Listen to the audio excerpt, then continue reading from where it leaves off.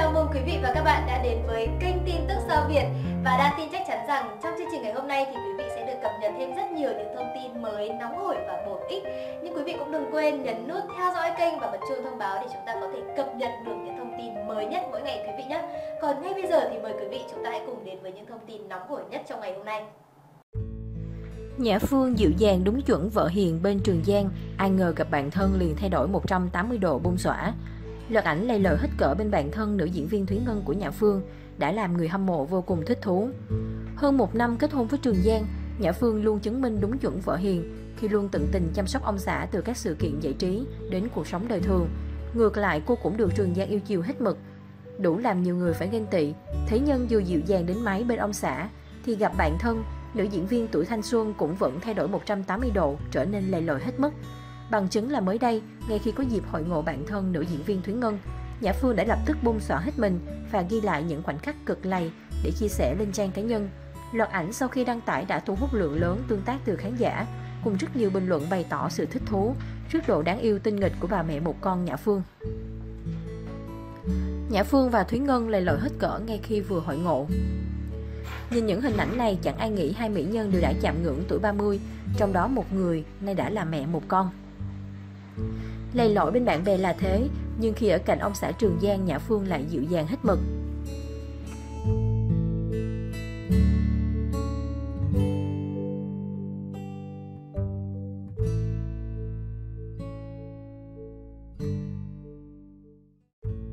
Vợ chồng đang trường tổ chức sinh nhật 3 tuổi cho quý tử tại biệt thự triệu đô ở Mỹ tiết lộ chuyện chưa kể trong ngày sinh bé. Gia đình nhỏ của Đan Trường còn hiếm hoi diện đồ đôi cực dễ thương trong ngày sinh nhật lần thứ ba của cậu quý tử đầu lòng. Vừa qua, con trai Đan Trường bé Ma Thích Thiên Từ đã bước sang tuổi thứ ba. Tuy nhiên vì đang sống ở Mỹ nên phải đến hôm 27 tháng 2, vợ chồng Đan Trường mới chính thức tổ chức sinh nhật cho bé theo đúng thời gian ở đây. Trên trang cá nhân, anh Bo đã chia sẻ loạt ảnh trong buổi tiệc mừng tuổi mới của con trai cực đơn giản ấm cúng tại nhà riêng ở Mỹ. Đặc biệt, đây cũng là lần hiếm hoi cả gia đình đang Trường cùng diện đồ đôi và ghi lại những khoảnh khắc chung bên nhau, nên càng làm người hâm mộ thích thú. Không chỉ chia sẻ loạt ảnh mừng sinh nhật con trai, Đan Trường còn tiết lộ cả điều đặc biệt trong ngày bé Ma Thích chào đời cách đây 3 năm. Nhớ năm Thiên Từ sinh ra là ngày 26 tháng 2 năm 2017, lúc đó mưa dầm về cả tháng, mưa nhiều đến nỗi Sanjo ngập lụt luôn, chưa bao giờ mưa như vậy luôn. Ngày xưa hay là trong chuyện cổ tích, đứa trẻ nào sinh ra mà mưa bão lông trời lỡ đất thường là thần đồng, là làm ông tướng hoặc là người có khả năng đặc biệt. Hy vọng Thiên Từ lớn lên sẽ làm được nhiều điều ý nghĩa nha bé Ma Thích. Happy birthday Mai Sinh, love you, nam ca sĩ hạnh phúc nói về quý tử đầu lòng. Vợ chồng đang Trường tổ chức sinh nhật 3 tuổi cực giản dị cho con trai, bé Ma thích thiên từ tại căn biệt thự triệu đô ở Mỹ. Gia đình nhỏ hiếm hoi diện đồ đôi, hạnh phúc ghi lại khoảnh khắc chung bên nhau. Bé Ma Thích Thiên Từ là trái ngọt đầu tiên của vợ chồng Đan Trường sau 4 năm kết hôn. Dù mới 3 tuổi nhưng bé đã thể hiện là cậu bé có trí nhớ tốt, sở hữu khả năng ngoại ngữ đáng ngưỡng mộ, Ngoài ra bé còn có doanh thu từ quảng cáo. Theo bà xã Đan Trường, mỗi tháng con trai có thể kiếm được hơn 20 triệu đồng. Bên cạnh đó, cách đây không lâu, bé Ma Thích Thiên Từ còn được ba mẹ thành lập công ty riêng chuyên bán những sản phẩm như quần áo, giày dép và nước hoa. Đặc biệt, bé không có sở thích với đồ chơi mà mê những chiếc siêu xe đắt tiền. Bà xã Đan Trường còn tiết lộ con trai từng gây bất ngờ khi bày tỏ mong muốn trở thành tổng thống trong tương lai. Bé Ma Thích Thiên Từ đúng chuẩn rít kích và sở hữu nhiều tài năng thiên bẩm từ nhỏ.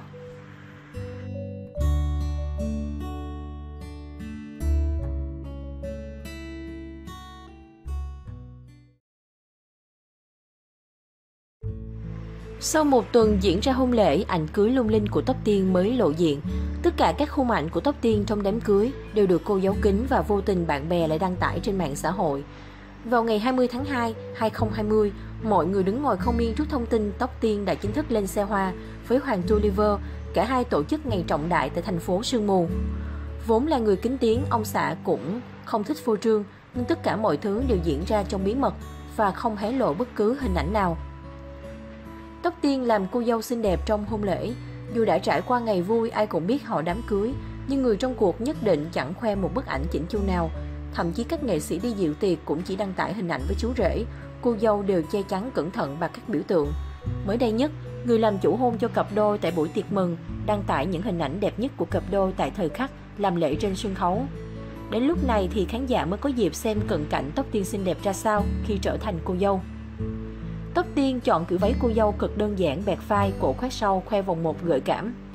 Khung ảnh để lộ diện mạo rõ nhất của cô dâu và chú rể, hiếm lắm mới được xuất hiện.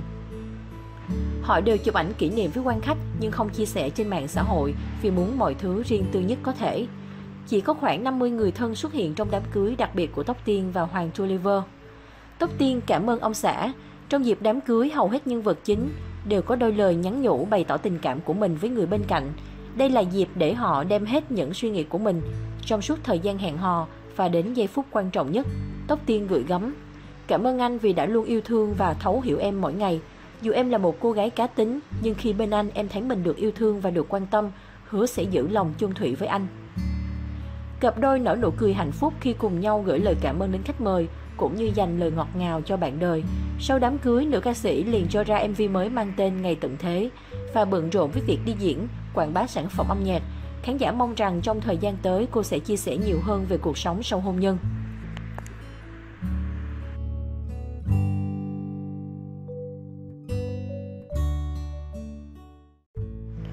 Phi Thanh Vân khuyên phái đẹp đừng từ chối khi đàn ông cho tiền. Với kinh nghiệm của bản thân, Phi Thanh Vân khuyên các chị em đừng bao giờ từ chối hay phủ nhận lòng tốt của đàn ông. Sau 3 năm chia tay người chồng thứ hai là Bảo Duy, Phi Thanh Vân gần như ở ẩn, cô không mặn mà với các hoạt động showbiz hay có thêm bất kỳ chiêu trò chú ý nào. Về chuyện tình cảm sau khi kết thúc mối tình 3 tháng ngắn ngủi với một vị đại gia tên Dương, đến nay cô khá kín tiếng về chuyện đời tư.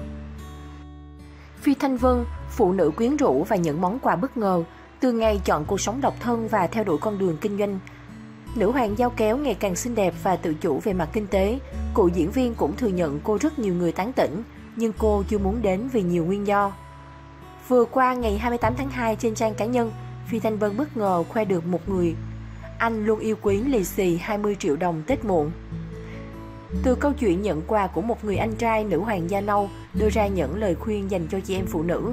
Phụ nữ đừng bao giờ từ chối hay phủ nhận lòng tốt của đàn ông, bởi lẽ sau này họ sẽ không bao giờ giúp đỡ hay tặng bất kỳ món quà nào nữa. Cô còn nói thêm rằng, phụ nữ quyến rũ và những món quà bất ngờ khi thấu hiểu đàn ông phụ nữ sẽ luôn được yêu chiều hết mực và bằng chứng sống chính là Vân. Phi Thanh Vân yêu phải chọn người đàn ông tốt nhất Phi Thanh Vân được xem là một trong những mỹ nhân Việt không suôn sẻ trong chuyện tình yêu. Cô từng trải qua hai cuộc hôn nhân với một người chồng Tây và chồng Việt, nhưng tất cả đều đứt gánh. Sau ly hôn, cô chỉ giữ mối quan hệ tốt đẹp với người chồng đầu tiên. Đã trải qua mọi cung bậc của tình yêu, nên Phi Thanh Vân là người hiểu rõ nhất về giá trị của tình yêu. Cô từng chia sẻ về quan điểm này rằng, yêu hay không, yêu không quan trọng. Yêu phải chọn người đàn ông tốt nhất với mình và là tình yêu thực sự, Yêu bằng cả trái tim và kiến thức tâm lý vì tình yêu không có nền tảng kiến thức, cũng tựa người mù đi trong rừng không thể tìm lối ra. Quan điểm của Phi Thanh Vân tiếp tục trở thành chủ đề bàn tán của cộng đồng mạng. Một bên ủng hộ cô, còn một bộ phận thì chỉ trích cô thực dụng.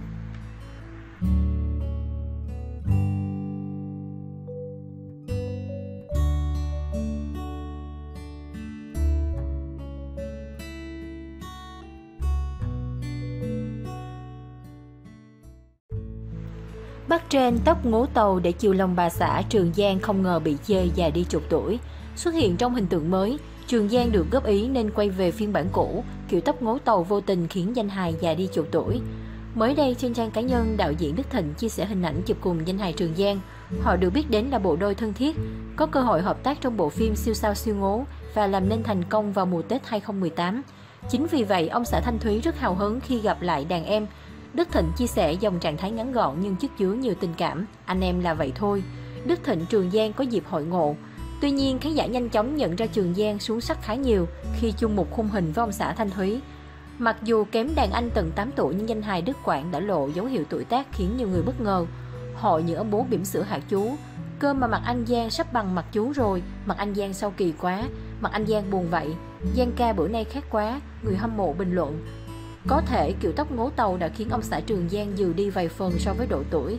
Nhiều người cho rằng đây là nguyên nhân chính khiến Trường Giang trông khác lạ so với thường ngày và vô tình dìm hàng anh không thương tiếc, giống như lời nhận xét của Nhã Phương khi ông xã theo trend mới một kiểu tóc nhưng hai số phận. Câu chuyện được chính tiểu diễn viên tuổi thanh xuân chia sẻ cách đây không lâu khiến nhiều người thích thú. Cụ thể khi thấy bà xã mê mệt anh chủ quán nhậu trong phim Từng lớp Itaewon. Do Park Soo Yoon thủ vai, Trường Giang lập tức cắt phân mái tóc để theo đuổi hình tượng ngố tàu như tài tử Hàn Quốc. Anh tự hào với bà xã. Dạo này thấy mấy người tranh nhau đại úy Ri với anh chủ quán nhậu làm chồng. Còn mẹ không cần tranh luôn nha. Việc chạy theo xu hướng để chiều lòng bà xã khiến Trường Giang trở thành ông chồng kẹo ngọt trong mắt nhiều người. Sự tâm lý và yêu thương vợ hết mực của nam danh hài vốn đã nổi tiếng từ lâu. Thế nhưng với kiểu tóc cán đầu này Trường Giang có thể chưa phù hợp, nhưng mạng góp ý anh nên nhanh chóng quay về phiên bản cũ thì hơn.